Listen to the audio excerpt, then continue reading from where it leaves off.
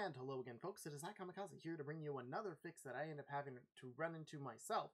And so hopefully this fixes someone. I don't know if anyone else has made a video on this because I generally don't look at YouTube videos myself. I prevent the addiction. Um, first of all, I'm going to cover that I do not support piracy. Under any circumstance, you will not find any of that stuff here. If that's what you're looking for, you can shoo. I physically own a PlayStation, and I physically own a copy of the game I'm going to use. I even made the dump of the game myself. So I am just letting you know that I completely own what I'm using. So first of all, I mean, well, not first of all, the only thing you have to do is click Options, go to CPU overclocking, and select times one. I can't unselect it. It's just not selected when you first launch it.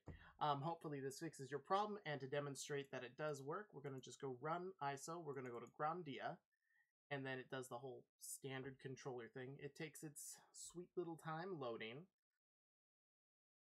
Da, da, da, and there you go. And just to make sure you do see that it is working, I don't know if I set the keyboard up. Apparently not.